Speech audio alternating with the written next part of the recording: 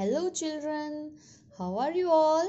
Today we are going to learn letter writing for baby letter D. The sound is D. So let's start.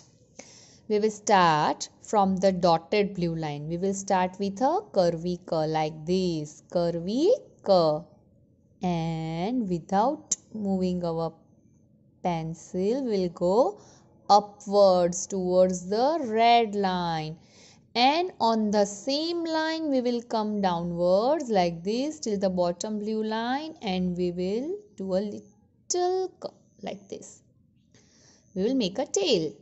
Let's do it again. We will start from the dotted blue line. We will do first a curvy curve like this right? And then we will go upwards from this point without moving our pencil till the red line and on that same line we will come downwards like this. And we'll do a little tail. D. D. Thank you children